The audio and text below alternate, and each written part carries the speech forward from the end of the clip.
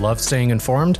Subscribe now and get unlimited access to local news, weather, and sports for just 99 cents a month for your first three months at inforum.news/join.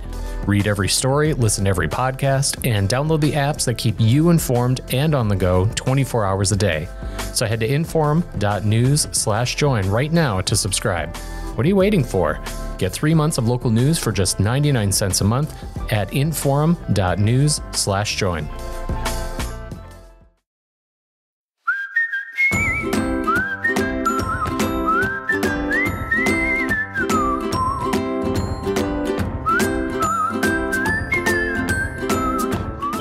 Plain Talk. And l- listen, one of the stories I've been I've been writing a lot about a lot, and and in fact, our last guest here on the podcast were some folks, uh, a li- uh, the director of my local library here in Minot, uh, as well as someone from the ACLU, talking about legislation in Bismarck uh, at the legislature that would, in in my mind, would would censor books. Now, proponents of that legislation don't agree with that characterization, and in fact on this episode of the show, we're going to be talking with one of those proponents, uh, Senator Janne Myrdal.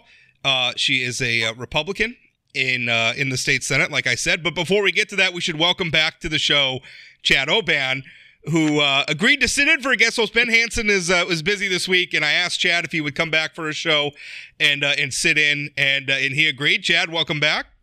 Hey, it's good to be here. Uh, I will tell you, as I told Rob when I got on, I'm worried about the bandwidth that the Fargo Forum website's going to have with the Oban bump of me being back here this week. I mean, the listenership is going to shoot shoot up. Uh, and I, No I- offense Chad, Chad, you're only back because I'm on. I know it. We all know it. I- just be clear. I agreed before I knew. yeah, he didn't know who the guest was going to be. I didn't know who the guest was going to be when I asked him. Um, I, that- which is kind of how I book these shows. I just uh, I look at what's in the news and, and try to be topical. So, Senator Myrdal, first of all, before we get into into the book stuff, I do want to ask the story um, on KFYR about you and another Republican state senator, Senator Wa- Wobbema. Wobbema? Am I pronouncing that? I That's correct. That's yeah, correct. Yeah, Senator Michael Wab- uh, Wobbema, um, turning your back during an invocation, um, provided now for people who don't know, every every day when the legislature starts its floor session, there's an invocation and there's a a rotating uh, uh, cast of of religious leaders who who give that invocation from various faiths. Um, this one was was Reverend Dr. Leanne Simmons from First Presbyterian Church in Bismarck as she was delivering her invocation. You and Senator Wa- Wobbema turned your back. So this happened back in early February, but it's just now, I guess, making news. KFYR picked it up, and I wanted to ask you about it. Can you what what what happened there? Why did you turn your back? Well, I Rob, I appreciate you having me on. Uh, I, I think it's really a non-story, uh, honestly, but I'll give you a little bit of background. And I told KFYR, and that's all I'm going to say, is that I don't believe that uh, the, the the pulpit of prayer should be lobbying. And uh, throughout January and uh, that particular day, um, I had gone to leadership several times and said, on behalf of many senators, frankly, that there was a lot of lobbying going on. I think prayers are vertical, not horizontal. Uh, you don't have to be preaching from from that uh, pulpit uh, when we have prayer. And we had certain uh, issues in uh, in committees at that time, and um, I don't think any of the issues in committee should be part of part of that uh, prayer thing. And so it was quite organic. Wobbema and I had not decided on it either way, but I have freedom of speech just like anybody else in in in our country that kneel or turn their backs on things. Um, I don't appreciate um, those clergy that come in and and uh, bring up issues that are set before us in committee. I think there's a place in committee to do that. I just, I just, to, to give context, I want to, I want to read the, the part of what what she was saying that with that that as on the video, and, and the video is available online. People can go look at it. But as you're turning your back, this is what she was saying. She was saying, "Creator of the universe and all people therein, you who formed humankind in your image, placing them in this world in all their diversity, differing colors, genders, races, ethnicities, and language. We praise you for your spl- for the splendor of your creation and the love that motivated your hand on this earth." That was the point at which you turned down. What what in that do you disagree with? I think the we all know now in this building and across the nation that the word gender is no longer defined what we thought it was defined as. Um, as a matter of fact, when we deal with law, we we, we deal with a, a definition of sex, which is one man, one woman. Gender is now fluid, and there's a gender theology out there. And so We had already uh, seen that in several prayers where it wasn't just gender, but other things. So let me give you an example. I think it was the same day, if not another day, there was heavy lobbying in the back of the Senate chamber, which there should be, between the credit unions and the banks. I would have probably turned my back too if if the minister said, "Lord, we you know bless the credit unions today," um, or "Lord, uh, bless white people today," or you know any anything that has to do with what we are going through. I, I just think it's unnecessary, hmm. and I'm not ashamed of it. I'll do it again uh, if I need to. And I think we just need to send a message that we're working hard on issues for North Dakota. Here, we're elected from different parts of the state. We present, uh, we represent our constituents but I, I, just don't take kindly to uh, to lobbying from the prayer pulpit, and that's all I'm going to say about it. Senator Myrdal, with all due respect, everybody does have a gender. So, I mean, I'm not sure that that was, I mean, I've read the quote several times and watched the prayer.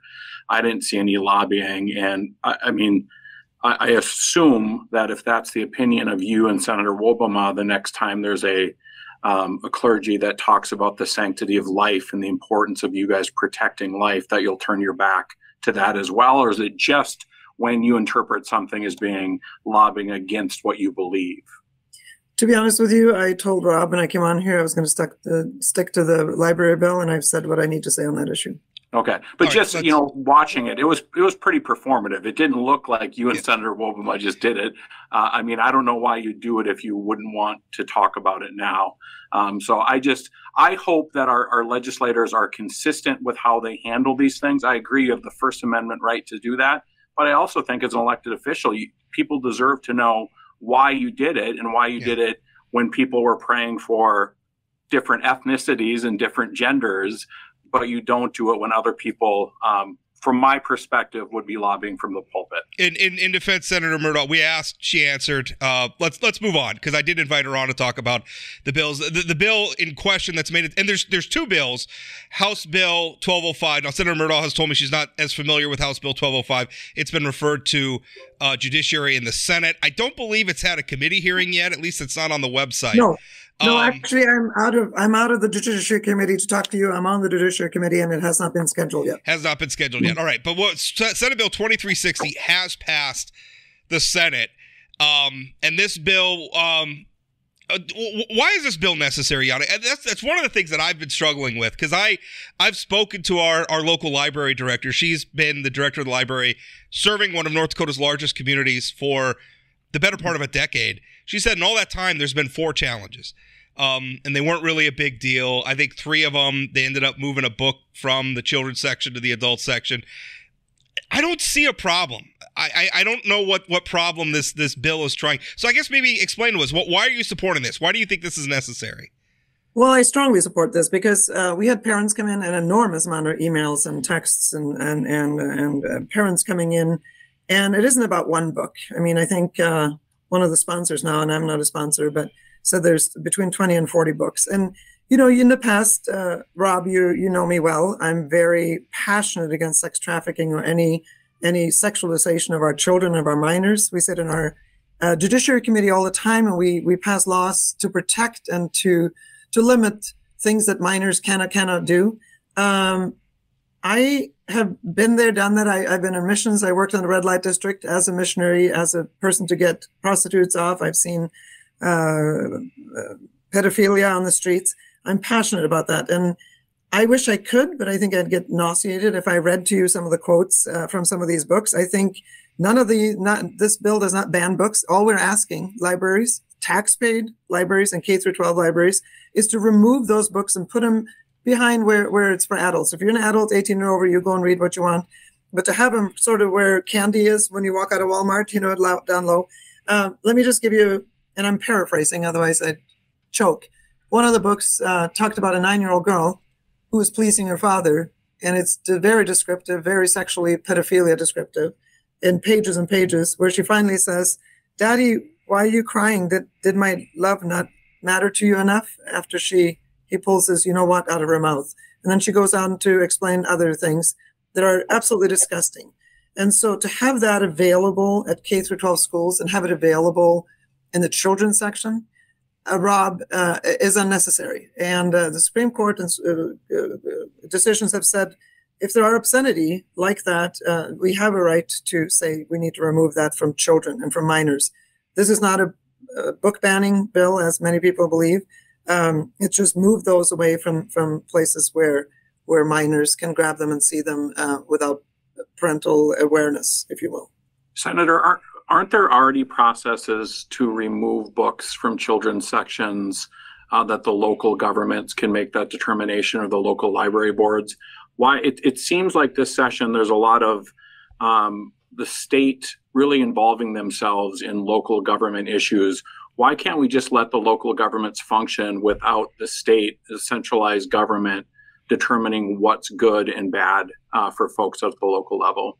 Well, Chad, a couple of things. Uh, number one, K through 12 schools. Uh, if if these certain property tax things pass this session, uh, the the legislature have taken over over 80 percent of the funding for K through 12 schools. So if I owned, quote unquote, and I don't mean own, 80% of a, a, business, I think I have some say, and people have elected us to do so. Secondly, as we sat in hours and hours and hours of hearings, and I respect librarians, I'm a bookworm myself, right? We're very book oriented uh, family. Uh, we didn't hear one librarian say voluntarily, we get it. This material is nauseating, it's sickening. Um, uh, we'll self govern. Not one time, Chad. I wish I'd heard it one time from any librarian in the state, and we have not heard it one time. Secondly, the amount of efforts by parents and some teachers to try to do that have been struck down uh, numerous times by, by local authorities. So there comes a time where we as elected officials and the legislature have to do what we need to do. And let me let me also bring in a thing that is interesting to me. Sex trafficking is a horrible thing. And some of these books, several of them actually, uh, uh, refer these children to a website called Grindr. Grindr is a is a homosexual happen to be a homosexual or queer or whatever you want to say uh, website, but it also uh, shows young men or young boys or you know to get on that website. That is a website that often uh, ends up in sex trafficking and and young boys um, being taken advantage of. I'm sorry, there comes a place where that kind of uh, sexualization and, and endangerment of our children who, who in their frontal cortex don't have already the maturity to make decisions against such things. Um, I, I, I, honestly don't see the problem. They banned uh, what other books like Hat and a Cat a few years ago. There was no outcry. Why is there outcry when legislators are trying to protect minors like we do with alcohol, everything? Why why is there an outcry when we try to protect minors against the sexualization uh, so, Senator, think, you I just think, said this, you said it's not a book ban, but now you just compared it to a book ban. I mean, well, there was a book ban, and it's not a book ban. If you read the if you read the bill, well, let's I, let's, I let's tell me where there's a book let, ban. Well, let's let's read the bill. I'm, I'm this is uh, this is the amendment. This is from section three of the uh, of Senate Bill 20, uh, 2360 as it passed the state Senate. It says, I quote, a person is guilty of a Class B misdemeanor if the person willfully displays at newsstands or any other business establishment frequented by minors, or where minors are or may be invited as a part of the general public, any photograph book, paperback book, pamphlet, or magazine, the exposed cover or available content of which either contains explicit sexual material that is harmful to minors, exploits, is devoted to, or depictions or contains depictions or written descriptions of nude or partially denuded human figures posed or presented in a manner to exploit lust. So this, you're saying that this isn't a book ban.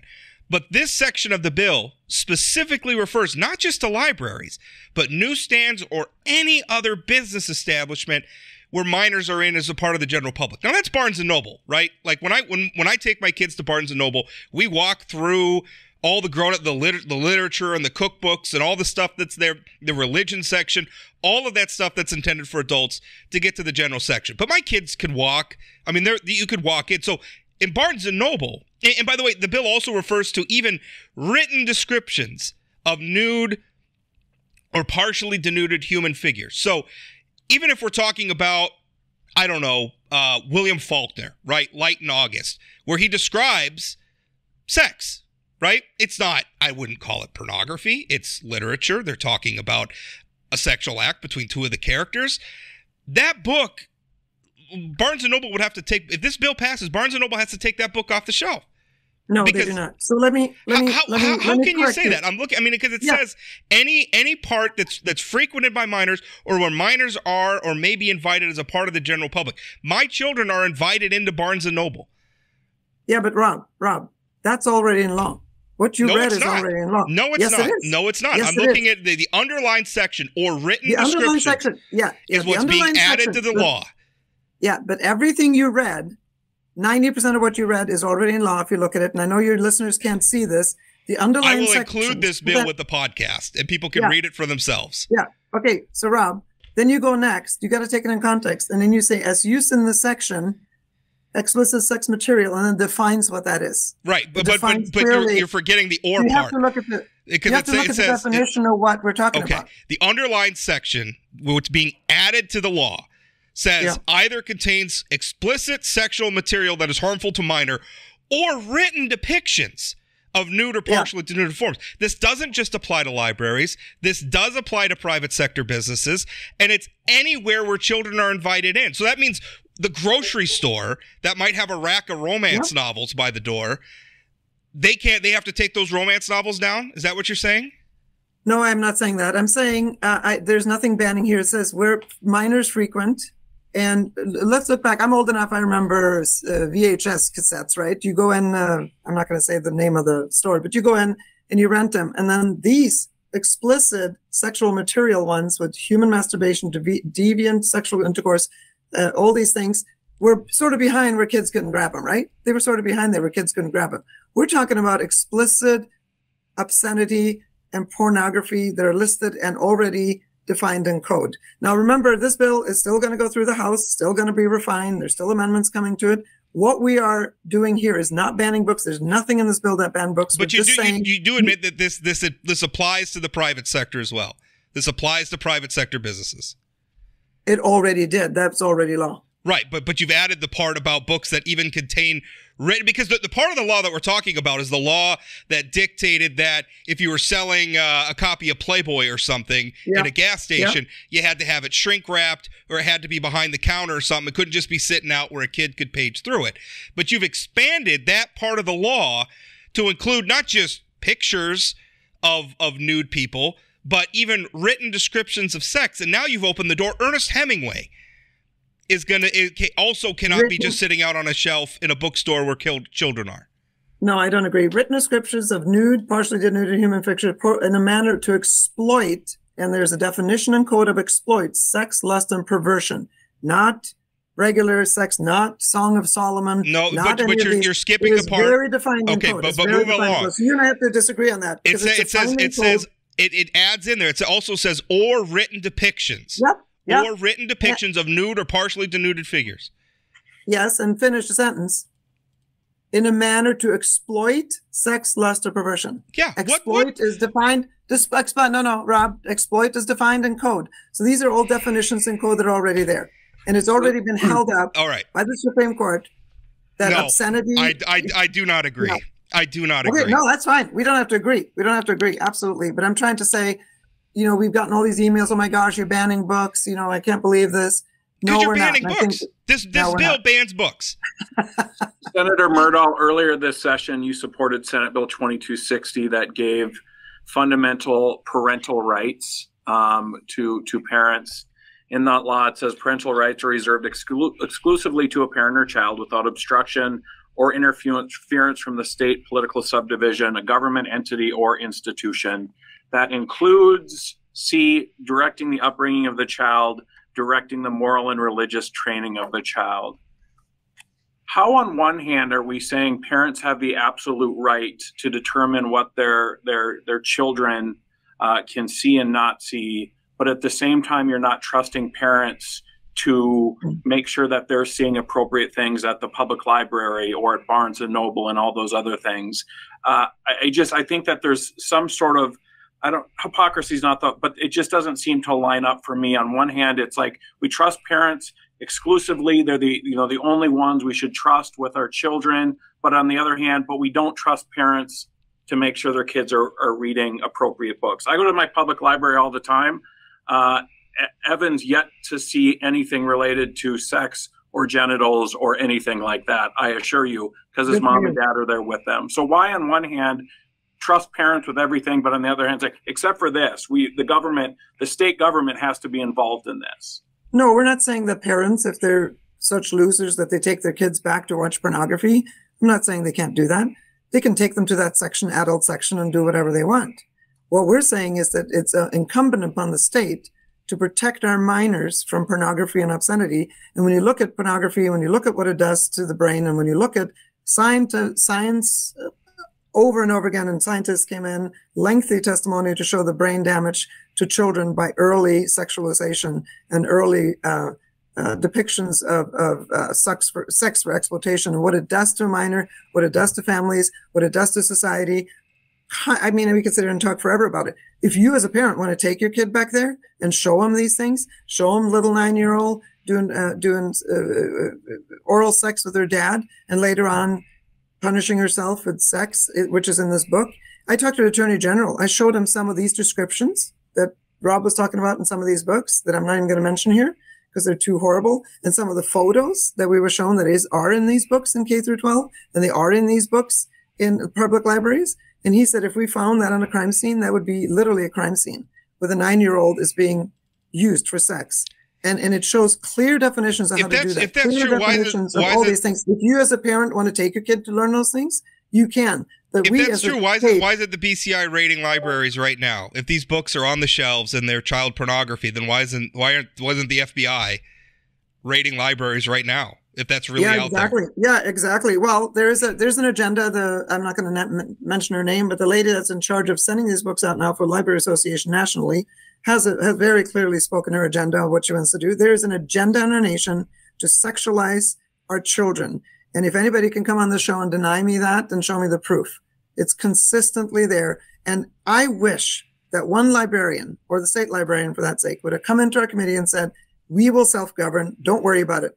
But the, if you look at the testimony, our state librarian was asked, shown pictures and descriptions that we had in our committee and that I have right on my desk in front of me is this pornography? And she said no. And then the same senator said, if you were an eight year old and you're, would you think this is pornography? And it was horrific scenes, horrific scenes.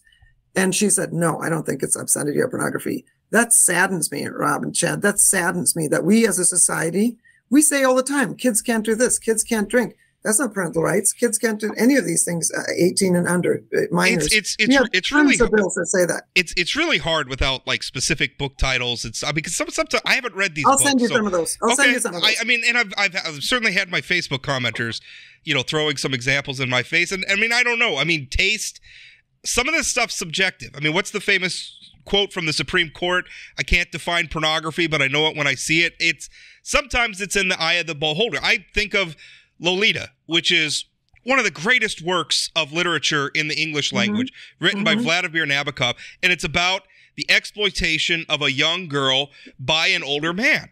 And it's Mm-hmm. got it's got some stuff in there that is confounding, that is disturbing, that is discon I mean it's it's it's terrible in a lot of ways, but it's supposed to be terrible. It's art. Sometimes that's what happens. And I'm, I'm very, very worried. Again, when I read this bill, this is not just for the children's section. This is for any public space where children can enter. This is for the grocery store. This is for Barnes and Noble. This is for every part of the library that we're going to be censoring books that even describe sex.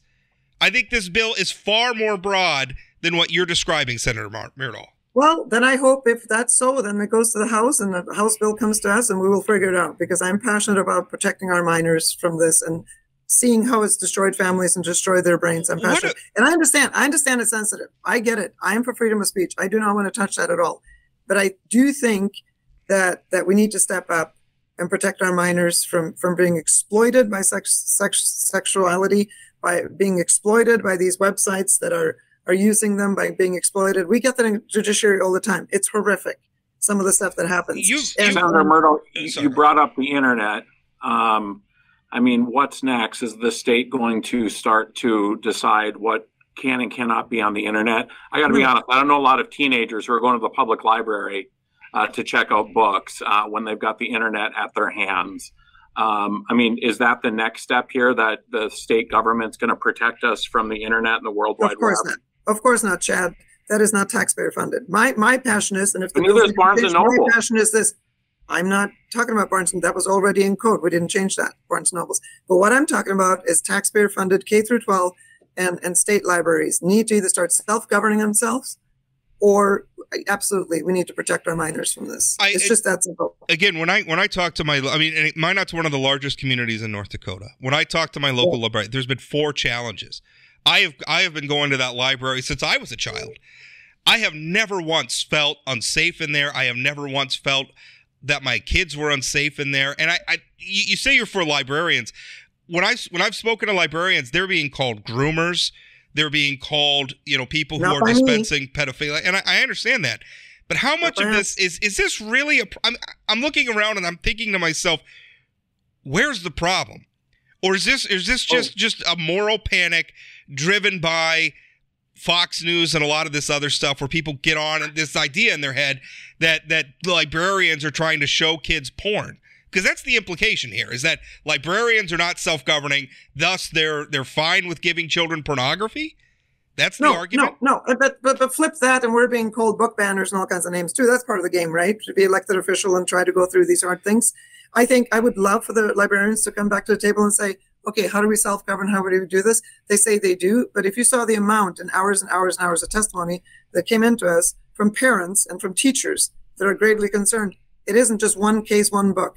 We found over 40 books in, in, in uh, K through 12 schools that I would absolutely uh, say are obscene. And that means exploitation, not just sex not just uh, uh, reproductive stuff. Of course not. You know me better than that. Can I? I, mean, I am sorry to kind of dominate, but we're, we're running out of time. No. This is, I think this yeah. is a really important question because if this is about protecting children, why don't any of these bills mention violence?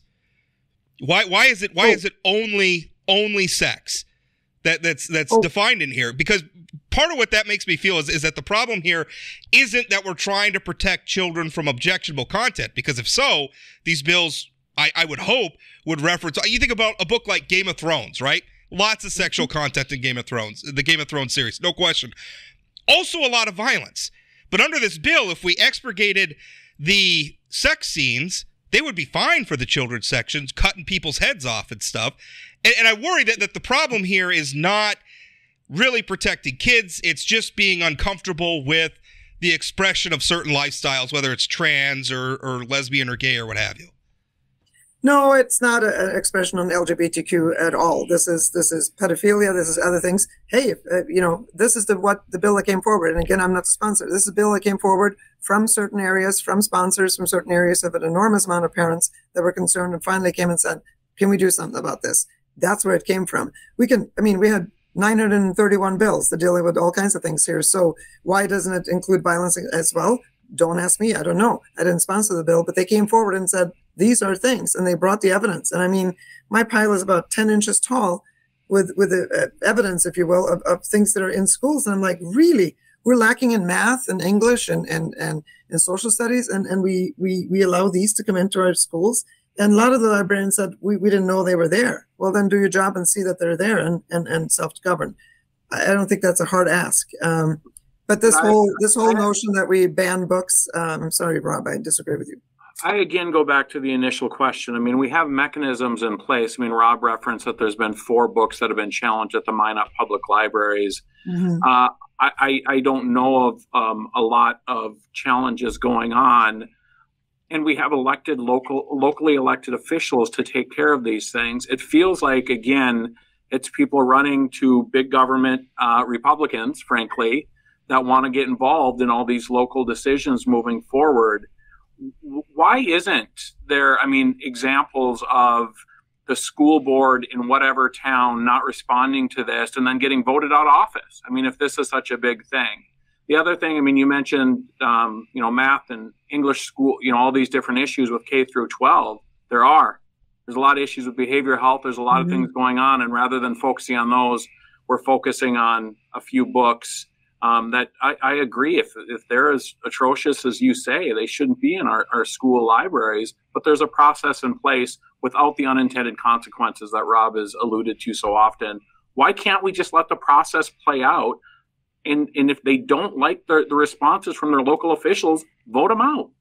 Well, I agree with you. I wish we would do that on a lot of subdivisions, right? But eventually, when when especially parents and teachers cannot get the result they want, they're going to go up just like an appeal process, right? And they come to the legislators. So I agree with you. This is a very difficult thing. And I agree with you that, yeah, why don't we focus on math and English and stuff? But how do you do that when you take so much of school time, and this is a podcast for another time, Rob and Chad, to deal with other things like socially uh, sort of construing these things. I go back to this. There is no doubt, absolutely no doubt in my mind, as I've dealt with sex trafficking of minors and other things, that there's an effort and an agenda to break down the family and break down children, sexual, sexualized children at a young age.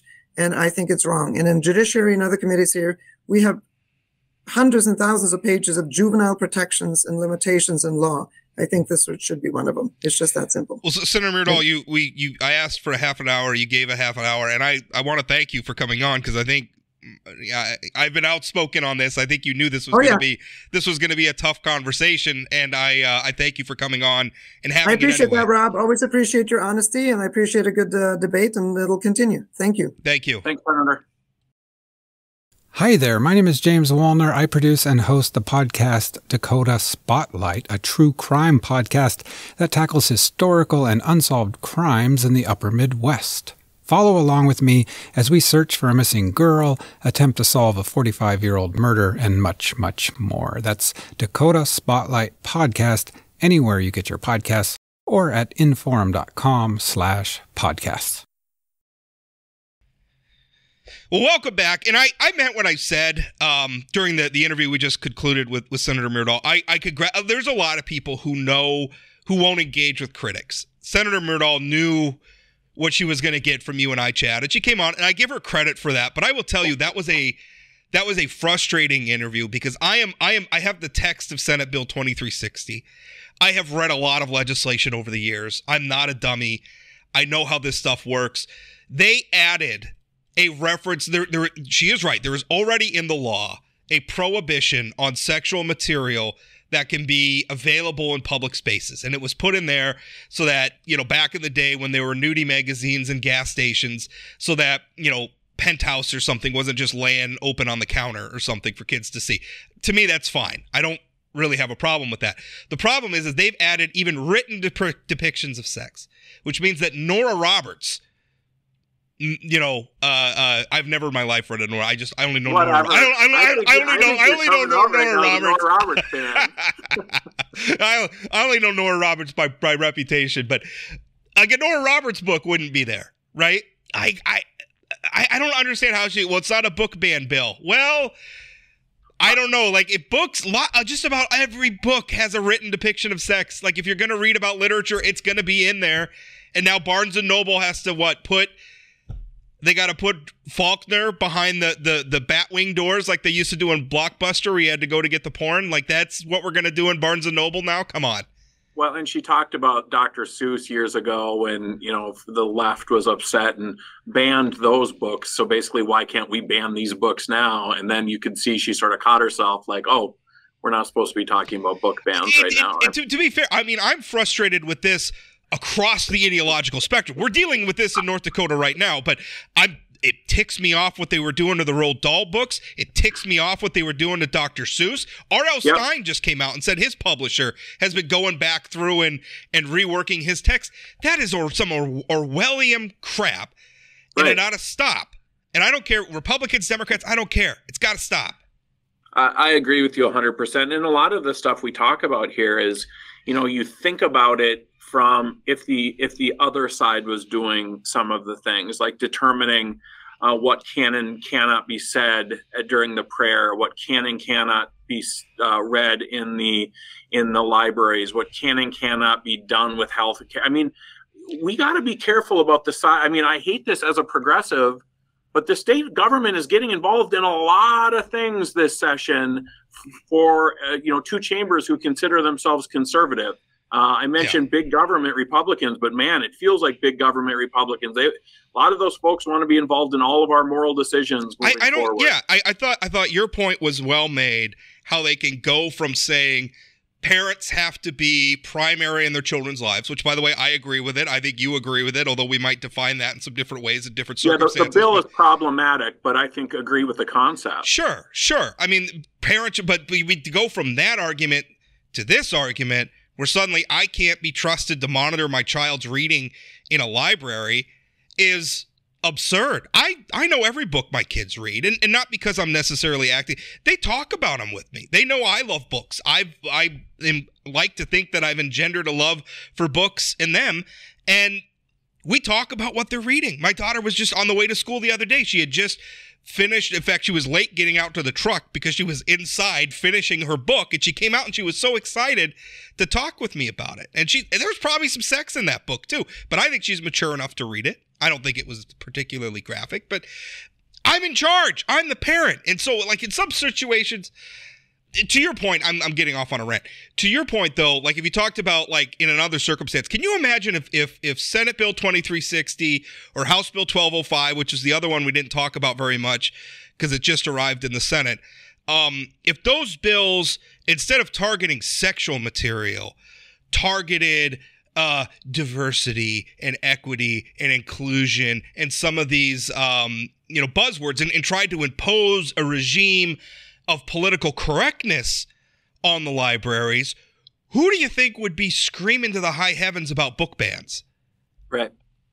Yeah, absolutely. Um, it would be a problem. Um, yeah, I just think it's uh, again the, the the the rationale that's being used here just doesn't make a lot of sense. I think you know I don't want to be the the local control guy because I think we both agree that people preach local control um, sometimes and then they don't other times. But we have mechanisms in place that can look at individual books in schools and i mean there's an elected school board there's i mean so four minot public libraries had four challenges what, of books four four uh th- three of which i think she said was just a matter of moving one book a book from the children's section to the adult section uh and one i, I forget what she said this said but it was it was four challenges over like eight years so like average out like a challenge every two years. That doesn't sound. And, you said you didn't want to use a local control argument. I agree with that. I think a better argument is the where's the problem argument. Right. Why are we making laws in pursuit? Now, I think Senator, in fact, she did. She responded to it by saying, well, there is a problem. We have all these, we have 40 some books that we found, 40 some books that you found out of how many hundred public libraries that we have in this state.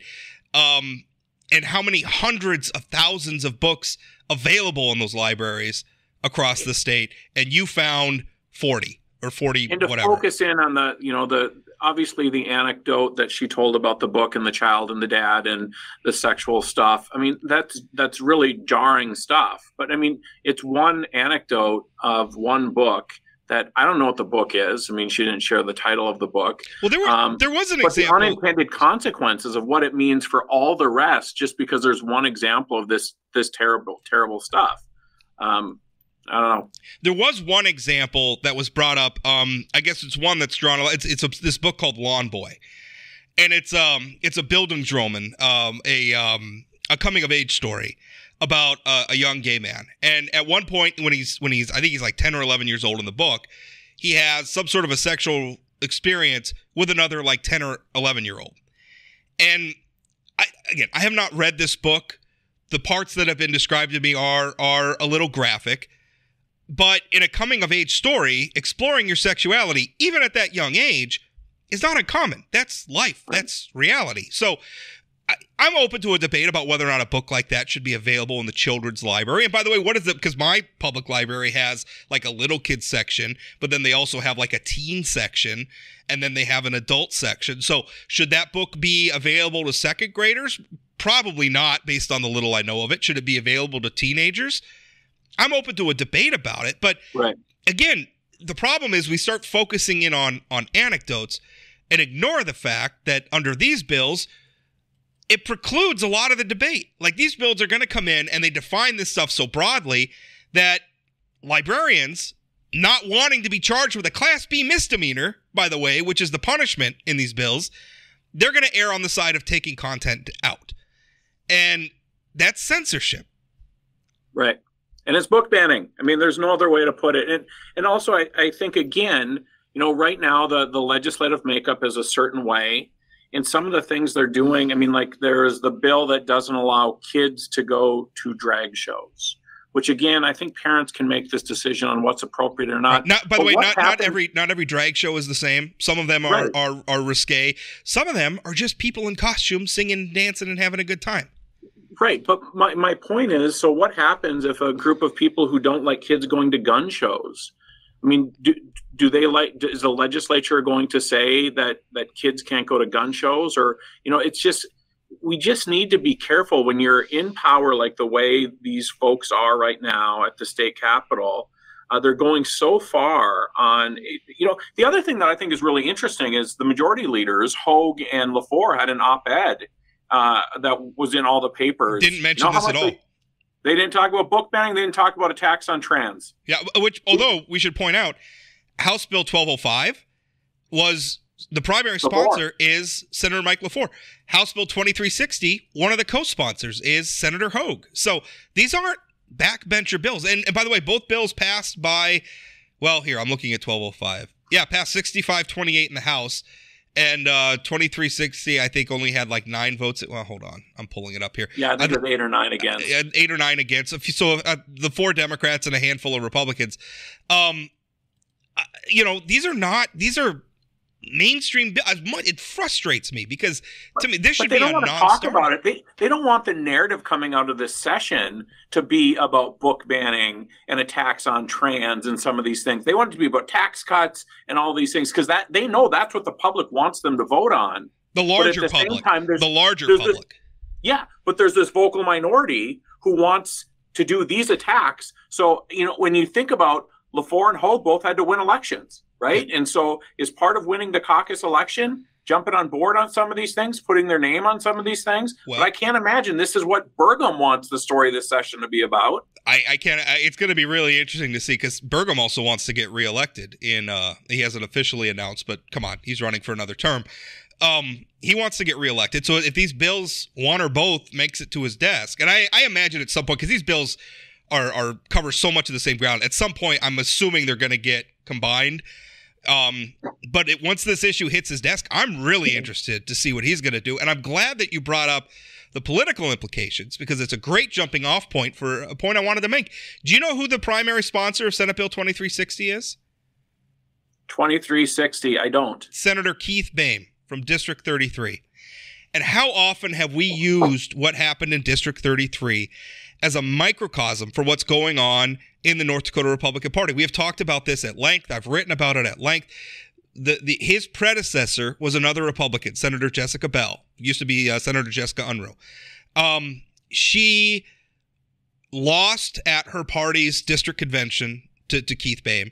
She lost at the June primary now she was a very consequential lawmaker, reliably conservative. Um, helped save Coal Creek Station, save which would have been economically devastating for that part of the state if it closed. And she got replaced by Senator Keith Boehm, who, since taking office, has introduced precisely two bills. He introduced this one, Senate Bill 2360, to ban books, and another one that was rooted in some election nonsense. So I mean, this is what's happening. You talked about a vocal minority, yes, but they're the ones who are showing up in the candidate selection process for the North Dakota Republican Party. They're the ones who are putting people like Keith Boehm, who are focused on culture war issues and uh, looking at the list of bills he's introduced, not much else. And, you know, by the time they reach the general election ballot, they win because yep. there in most of these a lot of these legislative districts particularly in the western part of the state there's not even a democratic candidate. So or people are wondering like where is this coming from? Where is the larger public appetite? Well it's a small faction of very vocal very active people who are, are pushing this. And and to think i mean the thing is as much as i disagree with them that's the that's the game. We're governed by yeah. the people who showed up. Unfortunately they're the ones who are showing up and, and you're going to end up with legislators who spend less time on consequ- consequential legislation, like Senator Bell, Senator Unruh did. You know, you talk about saving the coal plant, and what took her down um, was a bill related to trans sports. Transgender. I mean, it was right? a transgender sports ban, and she, Governor Burgum, vetoed it. She voted to sustain the veto in the Senate. Yeah, and and so you think about how important that bill is and how many lives it affects versus saving a coal plant But for some reason, the voters in District 33, not the voters, the primary voters, the convention voters, decided that that transports bill, that again affects very few people, was more important than her helping to save the coal plant and being a leader uh, for the fossil fuel industry, oil and gas uh, and coal in this state and being like she was at the table, right? I mean, she was at the table for District 33 in these important industries moving forward. And now you've got conversation about book bans and elections being stolen coming from the senator there.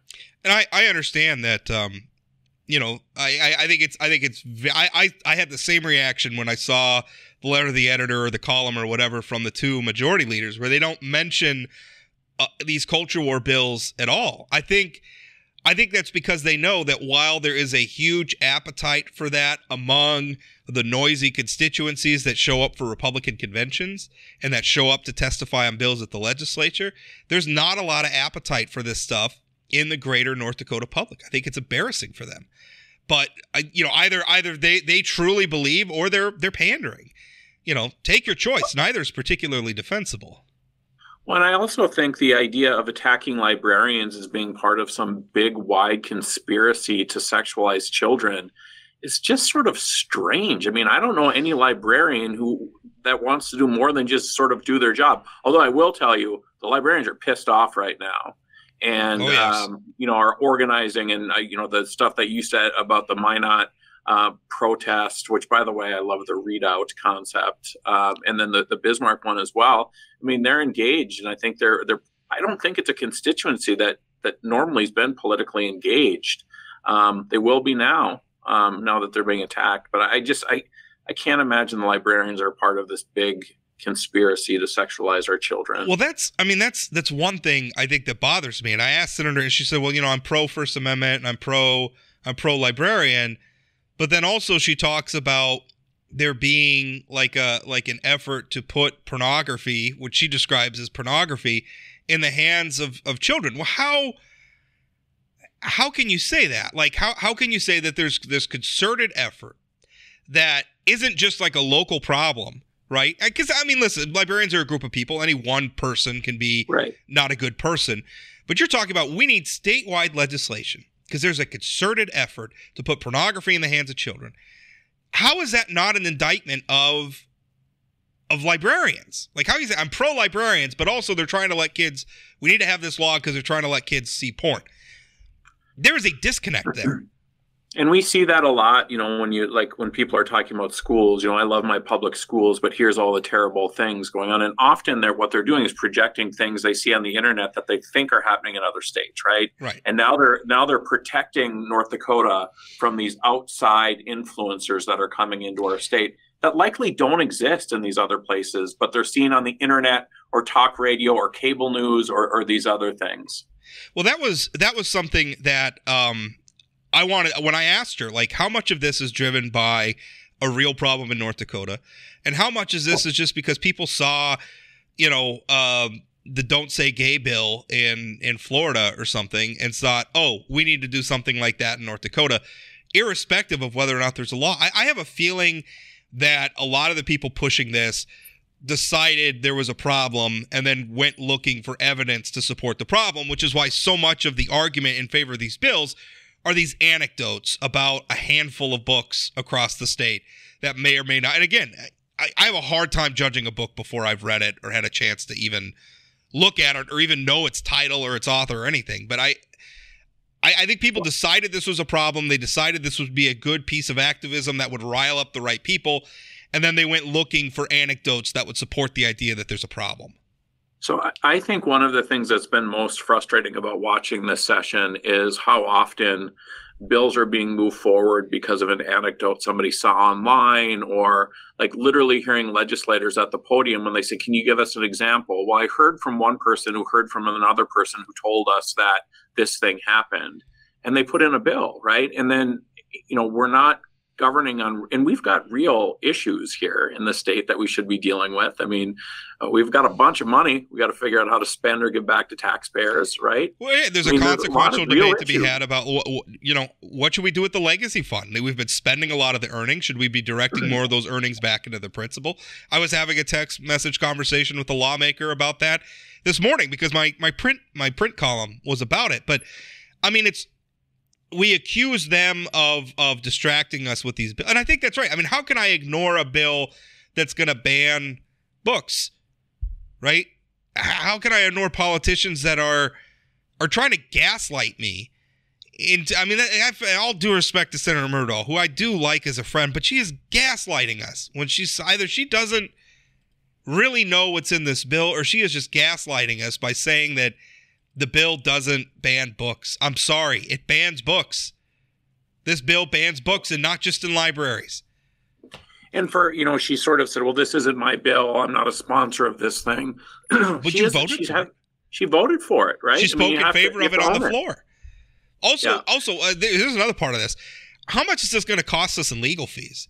Because if these if these bills become law, people are going to sue. I don't. I don't, know if, gonna, I don't know if it's going to be. Those, those, lawsuits are already lined up. There's attorneys from around this country that are biting at the bit. Sure. To and and here's and if you're a librarian. Uh, by, by, the by the way, not not just not just activists. You don't think like Barnes and Noble is going to maybe maybe hire a lawyer? You don't think Walmart? They make money selling books. Do you think they're going to appreciate this? Because uh, well, because again, whatever Senator Myrdal says, this applies to them. And this this is a, a severe restriction on the sort of material that they can make available, you know, in, in the aisle that's two aisles down from the toy aisle. And I and I just keep going back to, and I know it sounds like a joke, but uh, like, does the legislature know about the internet? Right? Do they? I mean, the, there is no. If a young person wants to see inappropriate material, they're going to find a way, and it's not going to be through the public library, quite frankly. So, uh, how far does this go? Let, us be honest. Kids were finding access to inappropriate material before there was an internet. Yeah. I mean, how many? How many? How National many, Geographic, man. How many? How, National Geographic. How many kids found their dad's Playboy under the mattress or something? I mean, I, I'm not saying that's okay, but man, I, I don't sometimes I wonder what do you think we're protecting kids from? And by the way, how many of these parents were outraged about some book, bought their kids Grand Theft Auto, right? Or have their kids playing, you know, Call of Duty or something and just murder playing Doom and just murdering people and all that stuff. And by the way, I don't have a problem with those things. I don't want to censor video games either. I don't want to censor. It's up to you. You're the parent. You decide what's what's appropriate for your kids, right? I know what's appropriate for my kids. I let my kids. The Lord of the Rings doesn't have any sex in it, but man, they kill a lot of orcs. Um, yeah. And I I let my I love Tolkien. I let my kids in on on the movies and the books at an early age. I I deemed that that was appropriate. They are violent though, but that's I don't know. That's a choice that I made. Yep, and and I and again I go. I told you I think off air when I was growing up, my parents' thing was uh, nudity is not going to scar you for life, but some violence that you're going to see will. They were much more um, about keeping me away from violence than they were about nudity. Now, of course, some of the sexual content that Myrdal was describing, my parents weren't wouldn't have been okay with that. Right. Uh, but seeing a boob here and there, but would not have scarred me. Yeah, I, or, or, or a written depiction of of a yeah, of, a, of, a, of a boob, boob or, or sex or something. I. Uh, so here's here's uh, one of the greatest things that happened to my my my mom my mom's brother my uncle. Um, we went to visit him in California and he said, Here you go, Rob. And he handed me a paper sack full of paperbacks from the golden age of science fiction. Here I am, 11 years old, and all of a sudden I've got Robert Heinlein, Isaac Asimov, uh, just these, these, these, you know, people probably, I mean, some of that stuff hasn't aged so well, but, you know, you read it, they're not politically correct. You know, I, I, tell people that one of the most influential books that informed my political outlook is The Moon is a Harsh Mistress, which is about a, a the moon is a penal colony and they revolt against the earth. And there's all sorts of stuff in there about libertarianism but also like plural ma- marriages um, all sorts of different marriages. Because he's imagining like all these cultures from earth and they develop their own culture on the moon. What would they look like? You know there's a there's a disparity between the number of men and women so how would they accommodate for that? And boy how they accommodate was was same-sex relationships and plural marriages. And i was reading about this stuff when i was 12 and i think i'm okay chad Rob, so, and you ended up not being gay or in a marriage with multiple women, correct? I, even though I, you read about them. I, even though I read about them, I have Woo! never, I, I, I, I have never, not that I have never felt uh, any attraction to another male, and uh, and frankly, I think, anything wrong with that. and frankly, I think one wife is enough of a pain in the ass. So, um, I don't need. I'm not touching that. Does your wife listen to your podcast? yeah, I'm gonna. Boy, that's that was ill advised. I'm gonna edit that part out. Yeah. um yeah so anyway that's that's where we're at they're book banning bills they're absolutely and by the way house bill 1205 does not i should because we've, we've mostly focused on the senate bill which by far is the worst of the two bills but neither of these bills are right are okay but i i should note that the um the house bill although it doesn't apply to the private sector doesn't just apply to the children's section. I'm reading directly from the bill. It says, I quote, a public library may not maintain in its inventory books that contain explicit sexual material with sexual material, explicit sexual material, including even written dep- depictions of sexual intercourse or sexual activity. So I don't know how Anywhere in that's the whole building. anywhere in the whole building. It's a public library. Here, let me read it again. A public library may not maintain in its inventory books that contain explicit sexual material, which includes books that just describe sexual intercourse. Anywhere in the library. The entire romance section is the Twilight series is going to be thrown out, right? Hemingway, Fitzgerald, they're all gone. How fr- it's like, but this isn't a book. This is this is just about protecting the children, Chad.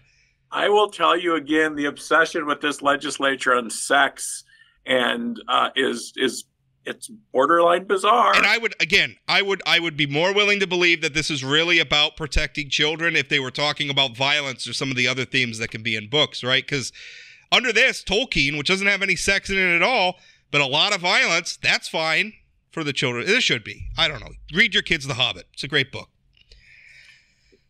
okay, Uh, you just like this subject because you get to nerd out with different author names and you uh, have talk no about your sci-fi collection. I love I love books. I love every I love books. Yeah, I do. I read I read constantly. And uh, I'm not apologizing for it. So all right, well that's it. Chad, thank you so much for coming back. It was a delight to do this with you again. Not that Ben Ben does a great job. I really enjoy having Ben on as well, but it's always nice to have Yeah, and again, sorry for the uh, the IT folks at the forum having to Yeah. deal with this bump that they're going to as, as soon as I get off the air, I'm going to send them an email.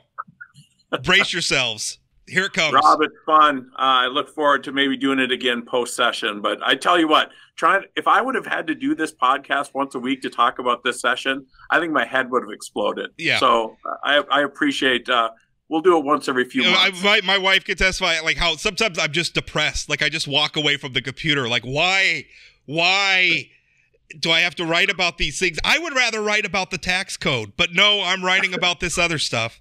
Well, I tell you what, one one person who is is like in a much better place now than she was two years ago is Erin, my wife. Is just happy like every day that she's not in the Senate. She just talks about her. how miserable she was two years ago. Whist- whistling on her way to work. Yeah, Not not my circus, not my monkeys. Yeah. She misses some of her friends at the Senate, but in the House. But uh, overall, I think she's she's happy to not be there. All right, Chad, thanks for your time as always. We'll talk again.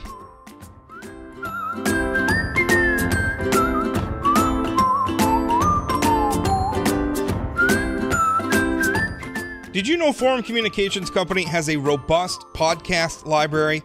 At inforum.com forward slash podcasts, we have everything from politics, sports, true crime, outdoor adventure, and more. Visit inforum.com forward slash podcasts and explore them all today.